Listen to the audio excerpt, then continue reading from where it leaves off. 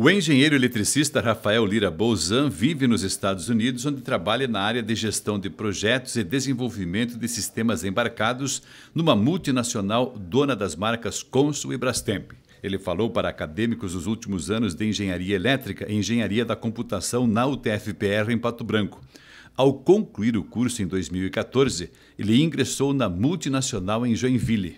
Fiz o estágio lá, fui efetivado lá, Trabalhei cinco anos lá, construí minha carreira ali inicial lá e em seguida fui transferido de Joinville para a unidade, unidade nos Estados Unidos, em Michigan, onde eu estou desde então.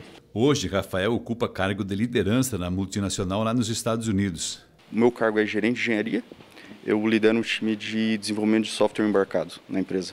Ele fala da importância da formação recebida aqui na UTFPR.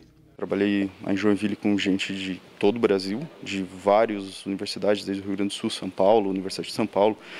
É, lá nos Estados Unidos trabalhei com gente, trabalho ainda com gente que vem de várias empresas de lá, desde Apple, é, trabalhei com gente que da NASA, já engenheiros de lá. E assim, ah, não vou dizer assim, aqui ah, nenhum aluno que eu trabalho hoje que é daqui, está já está atrás de qualquer um desses outros. Assim, a faculdade prepara super bem. Assim, a faculdade tem uma base bem, é, bem forte aqui, eu vejo, e, e principalmente mérito dos professores daqui, né?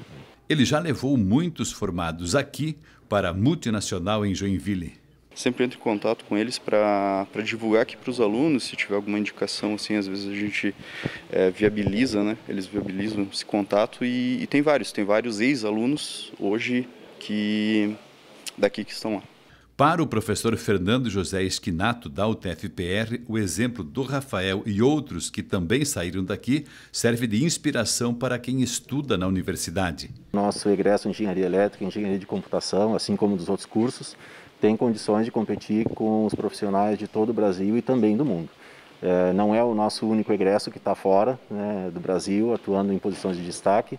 Então, a gente traz essa palestra também com esse objetivo né, de mostrar para os nossos atuais discentes que esse caminho é possível, que eles têm condições de competir em pé de igualdade com o mercado internacional. Já que Rafael está no centro dos projetos da multinacional na área de linha branca, perguntamos sobre novidades do mercado. Tem uma cervejeira que ela te diz o quanto de cerveja tem dentro e se acabar a cerveja, a própria cervejeira compra mais cerveja para você e entrega na tua casa.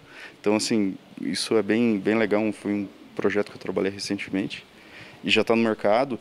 Tem nos Estados Unidos tem muita coisa na parte de cocção de alimento com câmera, então assim você não precisa fazer nada, você só coloca o alimento dentro do forno e ele mesmo identifica o alimento e cozinha para você. Ele só te avisa quando está pronto.